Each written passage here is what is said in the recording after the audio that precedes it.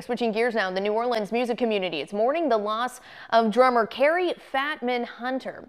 He was killed Monday night when he was hit by an allegedly impaired driver while walking across North Claiborne Avenue. Hunter played drums in a host of New Orleans brass bands and won a Grammy in 2021 with the New Orleans Nightcrawlers. He was 53. 21-year-old Jeremy Lindsay has been charged with vehicular homicide and hit and run driving in the case.